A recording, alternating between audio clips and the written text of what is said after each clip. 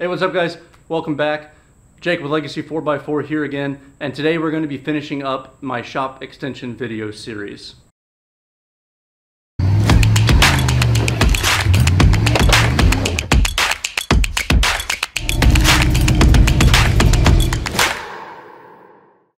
So as you guys can see behind me, I just finished doing some of the wiring. I got the lights installed along the whole shop. I have a total of eight of these cheap LED lights that you can buy on Amazon. They're $35 for two of them, and they come with an E26 style socket, which is just a normal screw-in type socket, and they connect pretty easily to any kind of uh, wire or electrical source. So what I did is I wired up the top of the shop to have, there's two outlets, one in the front of the shop, one in the rear of the shop, that are controlled by a switch, and then I ran all of these lights into those two outlets via just some standard power cords. I actually cut up some old lights that had um, standard plug-in extensions and I just used those, cut off the tips and plugged them into these lights. Super simple to do. Uh, I went ahead and did that off camera because I was doing it kind of on my off time during the week. But now we're gonna get started on the rest of the wiring. So we're gonna start this by running the 115 back through the rest of the shop. So I already started, I took the stuff that was right here and I pushed it over to that wall over there because that was the light switch and one of the outlets,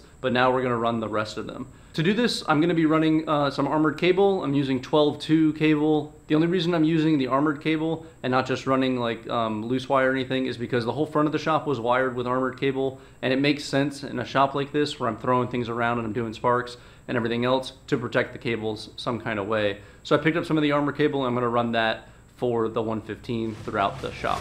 Let's go ahead and get started on that part of this project.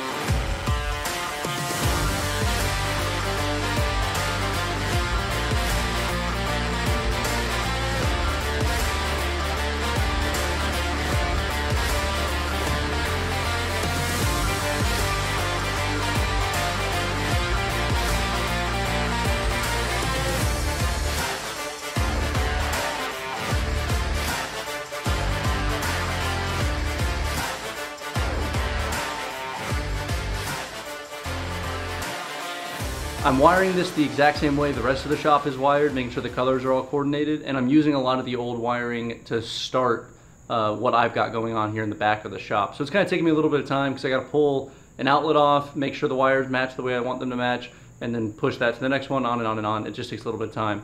But to quickly show you guys what I'm using to do this, again, I'm using armored cable, and so if you're gonna use AC cable, you have to use, you have to use some kind of uh, bushing type thing it's these little guys are what the rest of the shop has, so this is what I'm using. They've got an anti-short bushing, this little red portion here, and then this metal clip, which pinches into those metal boxes that I use throughout the shop to wire everything up. These are pretty cool. Um, they make a nice clean install too, which is kind of nice.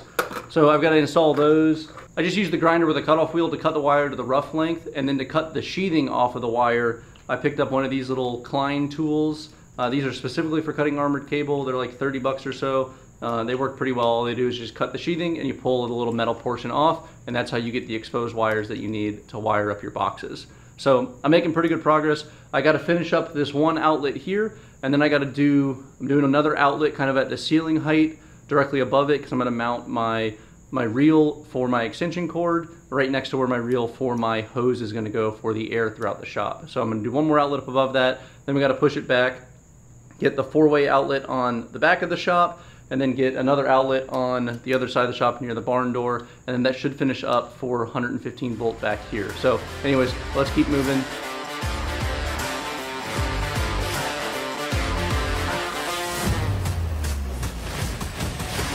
All right, so that finishes off the 115 volt wiring in the back of the shop. To cap you guys up on how many outlets we added, I'll go over it really quickly here. So on the barn door side, the side that's closest to my house, I added the light switch, which controls all of the lights inside the shop, as well as the exterior lights. I also added one 115 volt um, outlet at the top, kind of uh, pretty high up there next to where my speaker system is. That's where anything up high is gonna plug into, so the speakers and probably the electric reel for my extension cord.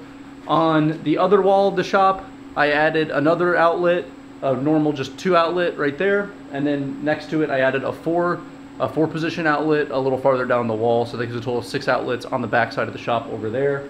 And then on the very back wall of the shop, I just added one four outlet box on the back. I think that's gonna be plenty of electricity. I am gonna be running a 50 foot uh, reel off of these outlets as well. So I should have the ability to put electricity anywhere I need to in the shop. I was gonna add a few more because I was gonna add some ceiling mounted ones, but truthfully, this is taking a long time. I'm exhausted, it's really hot. So I'm gonna just stop those there so we can move on to doing the 240 volts. So with that said, let's go and start wiring up the 240 volt outlets on the back of the shop.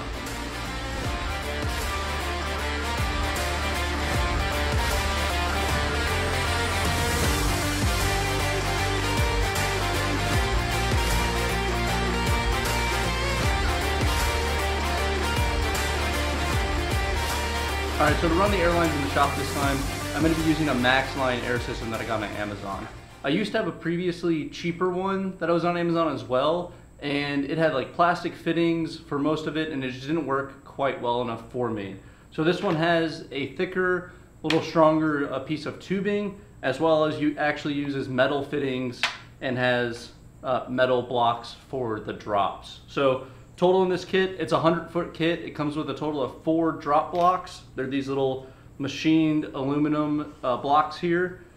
Comes with a whole assortment of different fittings to run the lines and some different angles and tees and things like that, as well as the tool you need to cut their PVC with. So I'm gonna run this the similar way to what I did on the last setup, but I'm gonna be running it uh, for a little bit longer throughout the entire shop. So we're gonna go from my dryers over there on the wall. It's gonna come out of that and it's gonna go up and around the entire shop and provide air to every corner of the shop. I'm doing a total of four drops. The first drop is gonna be right here in vicinity of the 20 ton press and the sandblaster to provide the air for those two tools. I'll just use a split T um, on the hose to give those the air that they need. We're gonna do one more drop up here at the top next to where my electric reel is, and I'm gonna mount my 50 foot uh, air hose reel. And then we're gonna go one more drop over by the plasma table to provide the air for the plasma cutter. And it's gonna circle all the way around the side of the shop and out towards the front where I keep the Rogue Fab. And it's gonna provide the air for the Rogue Fab and any other air needs I might have at the front of the shop. Like say that I've got to run a long line uh, outside, maybe to fill up a tire or something like that and get it out of the shop. So there's gonna be one more drop at the front of the shop. Should be pretty quick, I think, to install this, but with that said, let's go ahead and get going.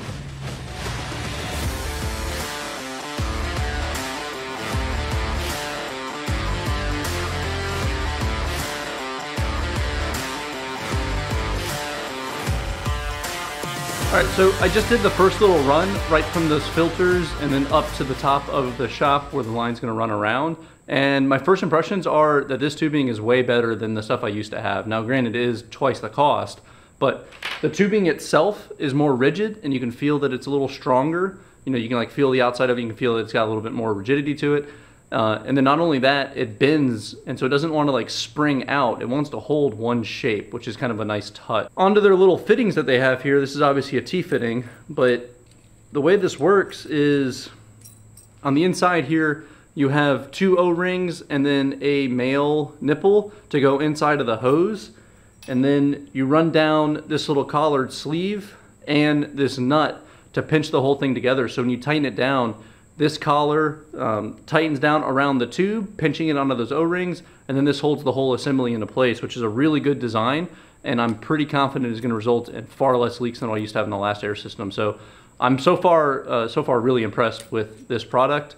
Uh, definitely think this is a better quality system than what I used to have. We'll see when I charge up the air compressor if it has the same problem that I had with the last one or not. But anyways, we got one line done. I'm gonna go ahead and just knock these things out and move on to the next project.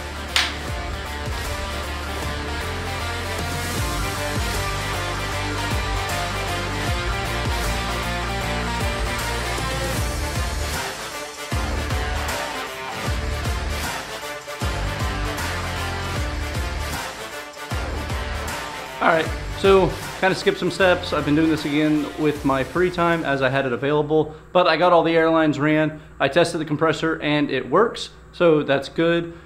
Quick note about those airlines, I am much happier with the installation of those than I was with the previous set. I ran it, it was much easier to run, it feels much more durable, and I definitely feel like it's a better product than what I had before. time will tell if it's worth twice the cost of the previous setup, but there's definitely no leaks in it right now, and that's what I'm most happy about. I'm gonna give you guys a quick walk around here of the shop in a second after I hang up the associated banners. Obviously, that's the most important and final step. And then we're gonna end this video here, and we're gonna move on to the next set of projects. I've got some small things to do on the shop still. I gotta paint it, and I gotta do some caulk and a little bit of trim work, but nothing too crazy, and it's not worth putting in this video. Once all that is finished and I get a chance to assemble a couple new toys, I will then uh, do a full shop walk around video for you guys so you guys can see, so that you guys can see what I have in my shop and what I use it for and how I make all of this stuff work in a relatively small space. Anyways, I'm gonna let the camera charge for a second. I'm gonna hang up these different banners and then I'm gonna show you guys around where we got in the shop. All right, here it is, all finished up. I know that Holly Holly flag is backwards, but it's too late tonight. I'll flop it around later. But there she is, all finished up. All right, so you guys can see here, this is the shop extension. This is what it looks like. I will do a full walk around tour of the shop later on once I get a chance to put together a couple new tools, but this is what it looks like for now. I'm super excited with it. All right, so there it is, guys. That's the end of the shop extension video. This has been quite the project. It's taken me two months to do, working on the weekends, working on my free time at night. It's been a lot of work, but I'm extremely satisfied with the results.